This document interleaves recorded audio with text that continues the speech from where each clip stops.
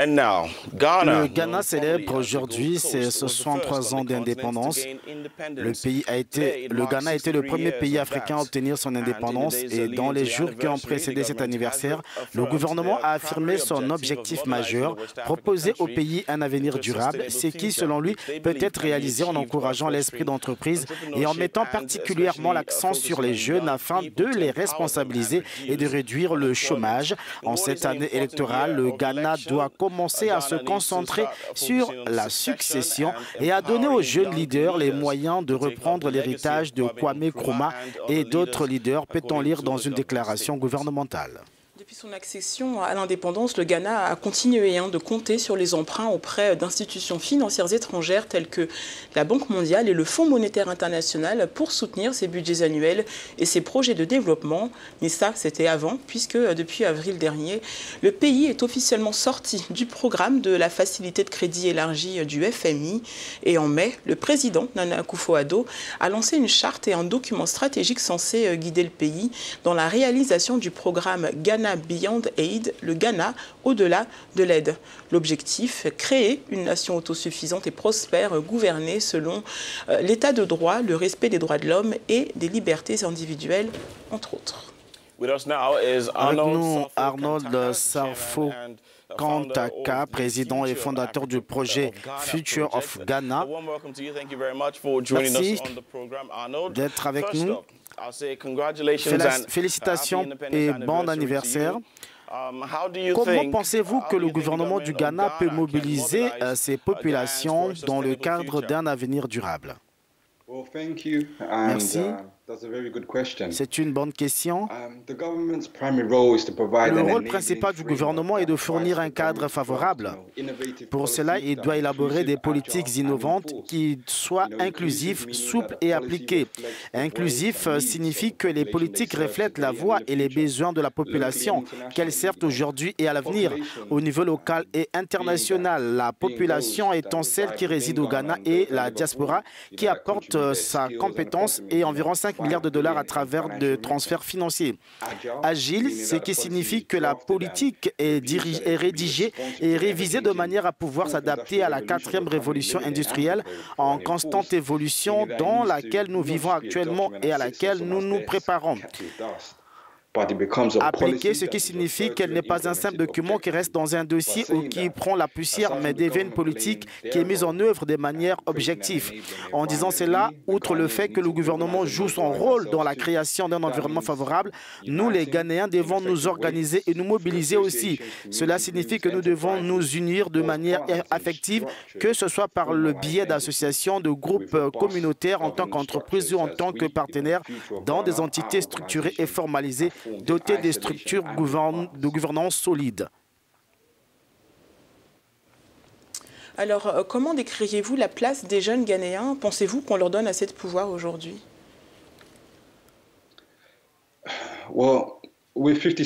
Avec 56% de la population âgée de moins de 25 ans et un âge médian de 21 ans. Des vieux, le Ghana a clairement une population jeune. En tant qu'organisation, Future of Ghana se concentre sur cette population de deuxième génération qui est reconnue mais pas assez autonomisée comme une source financière ou économique qualifiée qui peut contribuer au développement de la nation. Oui, il y a eu quelques initiatives positives développées et mises en œuvre par le gouvernement, comme le programme NEIP et de nombreuses initiatives de formation des dirigeants du secteur privé. Mais les belles paroles doivent se traduire par des résultats tangibles de soutien et d'autonomisation pour la dite population. À l'étranger, nous avons une population jeune et mature de Ghanéens professionnels qui sont à certains égards plus instruits, plus, instruits et disposent d'un revenu excédentaire plus important que leurs parents et qui ont moins de liens avec leur pays d'origine. Si cette génération est engagée de manière significative, c'est elle qui peut soutenir le pays 6% du PIB est comblé par euh, par leurs parents grâce à une nouvelle forme de contribution à l'économie par les envois de fonds. S'ils ne le font pas dans les 5 à 7 ans, lorsque la majorité des personnes qui envoient des fonds prendront leur retraite et retourneront au Ghana et cesseront d'envoyer de fonds, comment l'écart de 6% du PIB sera-t-il euh, comblé? Les jeunes Ghanéens résidant au Ghana sont parmi les plus créatifs et les plus innovants, les individus qui garantissent au sein de cette quatrième révolution industrielle où l'innovation est un facteur déterminant pour obtenir un emploi ou créer une entreprise. Il y a donc beaucoup de choses à faire pour s'autonomiser, apprendre et progresser, mais avec euh, un soutien à cette innovation et un écosystème favorable, les possibilités pour la prochaine génération seront finies. Absolutely, and um, I mean it's interesting that you say that, especially uh, knowing that last year was intéressant. the year of return for uh, for Ghana and bringing in um, many from the diaspora or people of African Avec origin. notamment la contribution de la diaspora. Um, as the first African en tant que premier pays africain à avoir obtenu son indépendance, quel est votre rêve pour le Ghana de demain?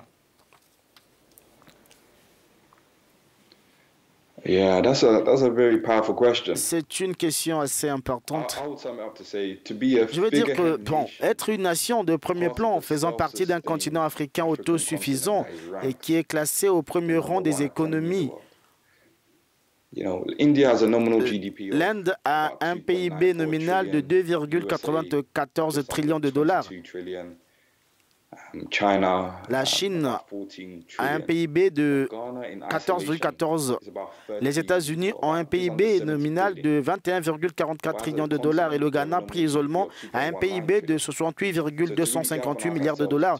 Mais en tant que continent, l'Afrique a un PIB nominal de 2,19 milliards de dollars. Pour atteindre une position d'influence, il faut une approche stratégique unie et dirigée par l'Afrique. Ainsi, plutôt que d'essayer de conclure des accords commerciaux, bilatéraux avec les États-Unis dont le PIB dépasse celui du Ghana, si nous nous unissons vraiment en tant qu'Afrique, les négociations d'accords commerciaux se déplacent immédiatement et les discussions des négociations sont plus équilibrées.